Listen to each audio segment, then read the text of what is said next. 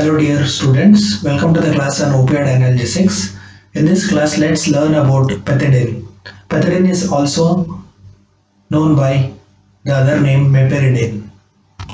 So coming to the specific learning objective, at the end of this session, you should be able to compare the important differences with morphine, discuss the importance of pethidine, pharmacokinetic properties, enumerate the side effects of pethidine, you should be able to discuss uh, the pethidine overdose and you should be able to mention the uses of pethidine and apart from that you should also explain the two important drug interactions associated with pethidine.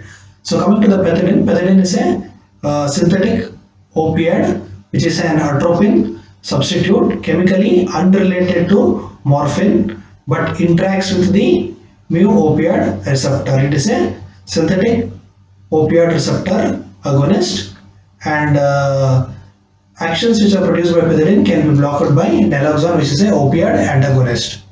So coming to the important comparison between pethidine and morphine. So compared to morphine, the pethidine analgesia uh, with respect to potency is 1 by 10th that of the morphine and efficacy is in between morphine and the codeine. So efficacy is uh, more than the codeine but almost equal to the morphine.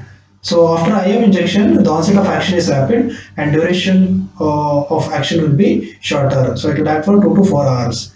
So the cough suppressant action is not that much effective as the morphine and uh, spasmogenic action on the smooth muscle is less marked and less prominent. So there will be less miosis, less constipation, less urinary retention and uh, it produces tachycardia. It is mainly due to the antimuscarinic action occurs which uh, this tachycardia occurs instead of bradycardia and also there will be a reduction in the cardiac contractility.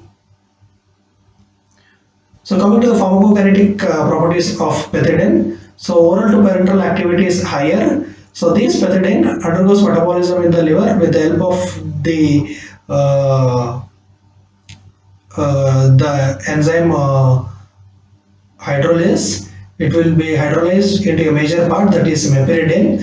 And with the help of demethylation it will be converted into a small fraction of uh, norpethidine so hydrolysis will lead to formation of meperidine. Demethylation will lead to formation of norpethidine the major part is meperidine and the small part is norpethidine. The importance of the smaller fraction of norpethidine is it is excitatory in action. It produces excitant effect thereby it increases the risk of seizure.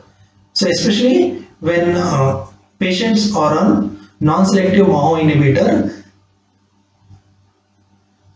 use of non-selective MAO inhibitor will inhibit the hydrolysis thereby more of small fraction that is norpethidine will be formed there will be accumulation of norpethidine which lead to the more excitatory action leading to the increased risk of seizures. And also in case of renal failure what happens? In case of renal failure there will be increased accumulation of norpethidine and finally leading to the increased risk of seizures. And T half is around 2 to 3 hours. So coming to the side effects of pethidine it produces side effects with respect to the atropinic effects like it can cause dry mouth blurring of vision it can cause tachycardia and uh, these uh, side effects that are constipation urinary retention miosis will be less prominent. But on repeated injection repeated subcutaneous or intramuscular injection it can lead to local site irritation as well as local fibrosis.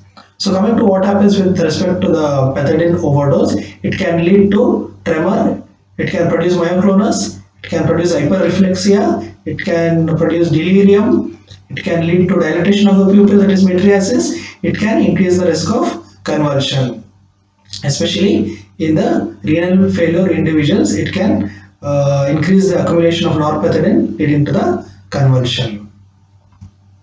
So coming to the drug interactions, important drug interactions are whenever the patients uh, uh, on pethidine or uh, given non-selective MAO inhibitor, this will inhibit the hydrolysis. So there won't be any uh, meperidinic acid formation which is required for uh, producing analgesic action. So there will be more of demethylation which lead to norpethidine, more of norpethidine will be formed, thereby more of excitatory action which can increase the risk of convulsion. And also, whenever the patient is on SSRI, if you give pethidine, this pethidine will going to increase the concentration of 5-HT release, thereby increasing the chance of serotonin syndrome. So coming to the uses of methadone, as of now, the use of methadone is uh, declined now. The only indications where it finds its uses in case of treating shivering following the anesthetic uh, recovery or during the IV infusion.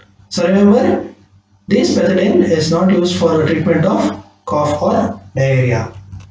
So coming to the summary, pethidine is also called as meperidine. It is atropine substitute chemically unrelated to morphine. These actions can be blocked by naloxone. It's a partial mu agonist. So comparison analgesic activity is 1 by potency wise 1 by 10th the morphine efficacy is in between morphine and codeine and after IM injection it has got rapid action shorter duration of action and cough suppressant action is not that much effective and it has got less miosis, constipation and urinary retention due to the lesser spasmogenic action. It produces tachycardia and there will be a reduction in the cardiac contractility. And uh, meperidine undergoes metabolism in the liver. Uh, with the help of hydrolysis it forms meperidinic acid. With the help of demethylation it forms a minor uh, small fraction of norpethidine which is excitatory in nature which is responsible for increasing the risk of convulsions especially when uh, individuals are administered with MAO inhibitor this will inhibit the hydrolysis thereby more of norpethidine will be formed and also in renal failure there will be increased accumulation of the norpethidine and also there is two drug interaction that is one with respect to non-selective MAO inhibitor. Again it is, will be increasing the norpethidine and increase the risk of convulsion. And also when it is given to the patient on SSRI, it can increase the serotonin release thereby leading to serotonin syndrome. The use is declined now. The only use where it finds useful is in case of treating shiver during recovery of anesthesia and following IV infusion. Thank you.